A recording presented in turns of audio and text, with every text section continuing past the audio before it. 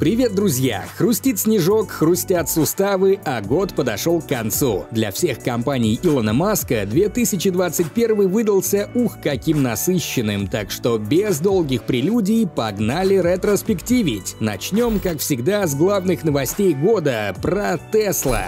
Пожалуй, главным событием года здесь можно назвать рестайлинг Model S. Версия Plaid побила столько рекордов скорости, что это даже как-то неприлично, а руль-штурвал явно остается с нами надолго, несмотря на весь недовольный бубнеж. Бухтели и наблюдатели за ростом цен. Из-за проблем с цепочкой поставок они тоже менялись на скорости Plaid. Все версии автомобилей прилично подорожали. Помните, сладкий февраль-март с эсками по 80 тысяч долларов, тройками по 37 и Model Y по 40 тысяч. Ну так вот, э, забудьте, эти времена прошли. Актуальные цены на экране, если за Рождество их еще разок не поменяли.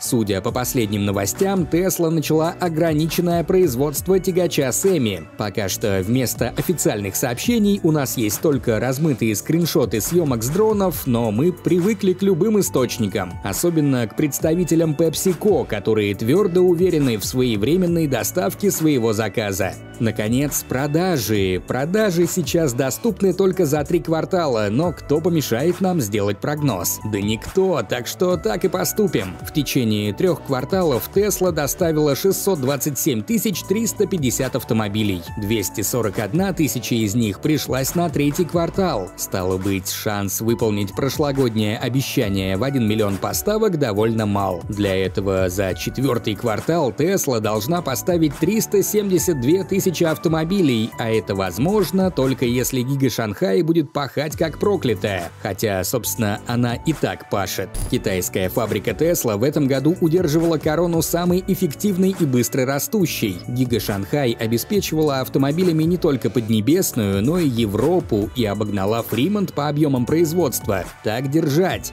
Гига Техас в этом году завершила первую фазу строительства, но не собирается останавливаться. Миллиард долларов в нее уже вложили. Оборудование для аккумуляторов практически на низком старте. А огромные литые кузовы дроны видят каждый день. Тесла даже перенесла в Остин свой головной офис. Прощай, Пало-Альто и его гигантские цены на жилье для сотрудников. Самая сложная судьба в этом году досталась, конечно же, Гига Берлин. Тесла провела крутейший фестиваль по поводу скорого открытия, фабрика фактически готова к боям за европейский рынок, но волокита с документами, разрешениями и отчетами тянется уже какое-то адское количество времени. Немецких экоактивистов в 2021 словно какая-то бюрократическая муха укусила. По итогу официально Гига Берлин так и не открылась и делает свои Model Y втихую.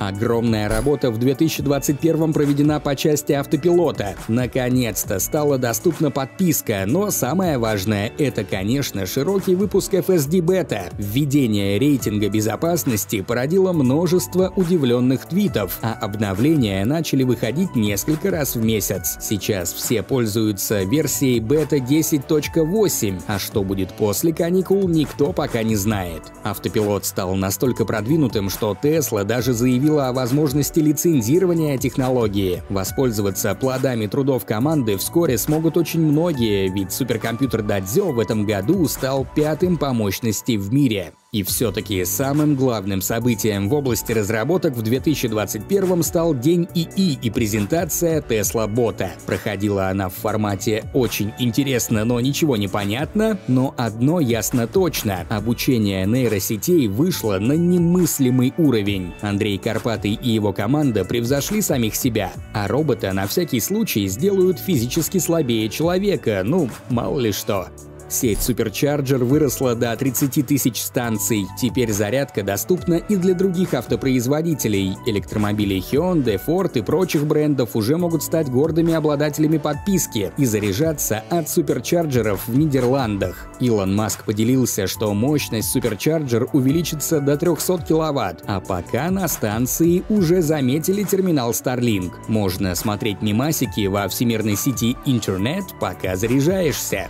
Болезненная тема для предновогоднего времени и очень счастливая тема для Тесла – денежки. Акции Тесла пробили какой-то невероятный потолок. Если 1 января 2021 их стоимость составляла 719 долларов, то сейчас одна акция стоит более 1000 баксов. В какой-то момент мы даже видели цифру в 1200 долларов, но потом этот прыжок чуть приспустился. Капитализация Тесла выросла в два раза и превысила 1 триллион. Это исторический максимум для автомобильных компаний. GM, Ford и прочие легко могут заработать рак легких на нервном курении в сторонке. Также Tesla купила биткоинов на полтора миллиарда долларов и начала принимать их в качестве оплаты за автомобили, но позже эта возможность исчезла. Мол, слишком уж не экологичный процесс у майнинга. Ну а еще Tesla приобрела канадский стартап Spring Power International и их технологию для разработки новых батарей, упомянутых на дне аккумуляторов в 2020 -м. Еще Tesla потратилась на стартап Seal Lion и получила новый патент на кремниевый анод для батареи. Кремниевый анод может увеличить запас хода электромобилей на 25%, так что деньги потрачены с умом. Tesla Energy в этом году также постарались. В Латропе, штат Калифорния, заложили фундамент фундамент завода Mega Factory для производства Мегапэк. Неваде больше не придется надрываться в одиночку. Крупнейший в мире проект Мегапэк в Австралии пережил большой пожар. Из-за утечки охлаждающей жидкости во время предварительных испытаний все горело несколько дней. К счастью, к концу года проект перезапустили, теперь там все хорошо и безопасно. В 2021 Tesla установила 250 тысяч Powerwall и запустила новую солнечную черепицу мощностью более 71 Вт вместо бывших 58. Размер самой плитки никак не изменился, так что это та мелочь, из которой увеличивается скорость и простота монтажа.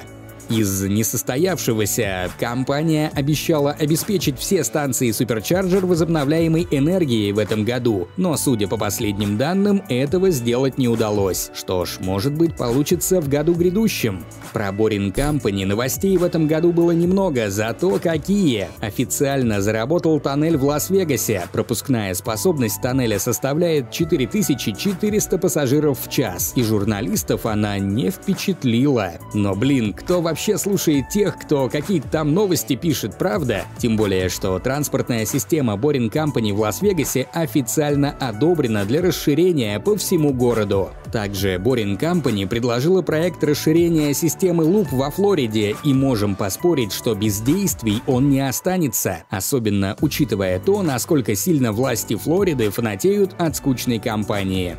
Не сидела без дела и команда Neuralink. Из компании ушел ее сооснователь Макс Ходок, но он по-прежнему болеет за стартап и всячески его поддерживает. Основная новость за год у Neuralink одна – это обезьяна-геймер, которая смогла играть в пинг-понг на компьютере силой мысли. Если кому-то этого мало, то вслушайтесь в эти слова еще раз. Обезьяна-геймер играет в пинг-понг силой мысли. Это ж, блин, обалдеть можно! Ну а от кого новость Новости были еженедельно, так это точно от SpaceX. В 2021 компания совершила 31 запуск, в прошлом году их было 26. SpaceX отказались от ловли обтекателей в сети кораблей и побила рекорд многоразовости. Первая ступень летала 11 раз. Три запуска в этом году были пассажирскими. Всего на МКС силами компании отправилось 12 пассажиров. Из них 4, кстати, вообще не были астронавтами. Но все-таки своя рубаха ближе к телу, так что чаще всего Falcon 9 гонял собственными спутниками SpaceX. 17 партий Starlink отправились покорять орбиту. Сейчас где-то высоко над нами плывут 1892 спутника сети, более сотни из которых в этом году получили лазерную связь. Доступ в интернет получают 140 тысяч клиентов из 22 стран, а количество предзаказов превысило 750 тысяч штук. В целом, Starlink потихоньку начал вылезать вылезать из колыбели бета-тестирования. Спутники следующего поколения становятся крупнее, а терминалы теперь стали квадратными. Их дизайн изменился вместе с затратами на их производство. Они упали на 50%, так что в убыток себе SpaceX больше не работает. Также Starlink достиг нового рекорда скорости загрузки более 400 мегабит в секунду. И расслабляться тут точно никто не планирует, поскольку сеть уже тестируют в самолетах и в море. А еще, судя по по заявке в Федеральную комиссию по связи, SpaceX собирается добавить в Starlink услуги телефонии. Те, кто внимательно смотрел наши переводы и интервью с Илоном Маском в этом году, знают, что переговоры с операторами уже ведутся.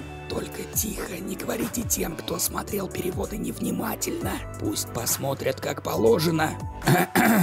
Площадки SpaceX в Техасе перестали быть просто площадками. Вместо них появилась звездная база Starbase. Работа весь год шла круглосуточно. Здесь создавали и тестировали рапторы, построили башню с руками для ловли ракет, а также построили и взорвали несколько прототипов Starship. Итак, дамы и господа, на премию «Большой бум года» номинированы SN-9, который смачно бахнулся об землю после прыжка на 10 километров, SN-10, который взорвался через несколько минут после посадки, и SN-11, который решил вообще не возвращаться на бренную землю и разлетелся на куски прямо в воздухе. А вот подняться на 10 километров и сесть целиком удалось прототипу SN-15. Выглядел полет, конечно, как CGI, но все-таки это была реальность. Орбитального полета Starship-20 мы так и не дождались. Как и в случае с Гига Берлин, здесь виновата бюрократия и экологическая экспертиза. Ждем 2022.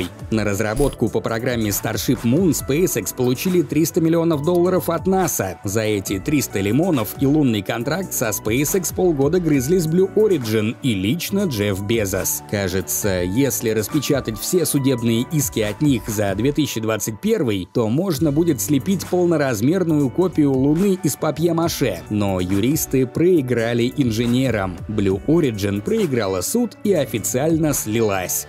У SpaceX состоялось первое публичное приобретение за 21 год. Компания приобрела оператора малых спутников Swarm Technologies. Самые маленькие коммерческие работающие спутники в мире теперь принадлежат SpaceX. Еще одним большим достижением SpaceX в этом году стала первая полностью гражданская миссия Inspiration 4. Из-за нее интерес к космическому туризму резко возрос. Netflix даже сняли про миссию отдельный сериал. Представители SpaceX воодушевленно предположили, что Crew Dragon могут производить только для космического туризма. Полеты для всех, и пусть никто не уйдет обиженным. По итогам года стоимость SpaceX превысила 100 миллиардов долларов, как мы видим, отнюдь не без оснований.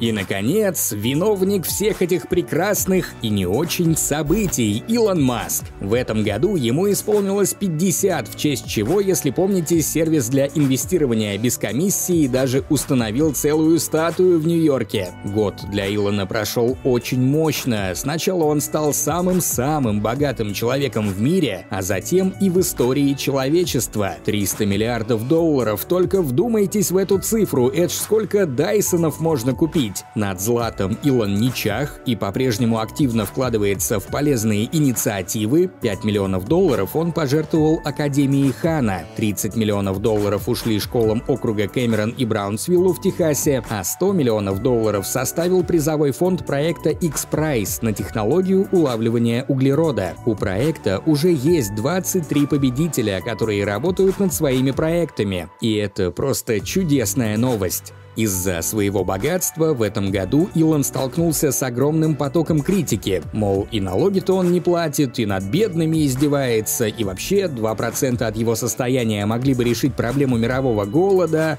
Илон предложил так и сделать, но только если Всемирная продовольственная программа открыто опубликует план своих расходов, чтобы все могли видеть, куда идут деньги. Ничего такого не произошло, и ВОЗ и ныне там. Про налоги так и вообще претензия на грани смешного. В этом году Илон продал 10% своих акций и заплатит самый большой налог в истории. Он составит более 11 миллиардов долларов, а это тоже очень много Дайсонов. Объявлял войну Маску даже Анонимус. Типа, слишком уж сильно Илон влияет на курс криптовалют. В какой-то мере это действительно так. За год миллиардер успел несколько раз уронить и поднять биткоин, но по итогу за видео Анонимуса, судя по всему, стояла индустрия ископаемого топлива, а их с такими приколами лучше вообще не слушать. В перерывах между спорами в интернете и управлением кучей компаний Илон Маск успел встретиться с семьей Сергея Королева, выступить на Saturday Night Live, где рассказал о своем синдроме Аспергера, и даже пригласить Путина поболтать в Clubhouse. Помните, был такой Clubhouse? Нет? Ну и ладно. Неудивительно, что после такого насыщенного года Илон вошел в список 100 самых влиятельных людей и стал человеком года по версии Time за визионерство, стремление двигать человечество вперед и смешные картинки в Твиттере. Ладно, последнее мы уже сами добавили, но странно, что Time об этом не упомянул. Вот таким выдался этот 2021. Каким будет год 2022? Мы пока не знаем, но попробуем сделать свой прогноз на грядущий год. Посвятим этому целое видео, которое выйдет на каникулах. Для нас этот год тоже был продуктивным, цифры говорят сами за себя. Спасибо, что вы с нами и с наступающими праздниками. Уже 7 лет с вами канал Илон Маск.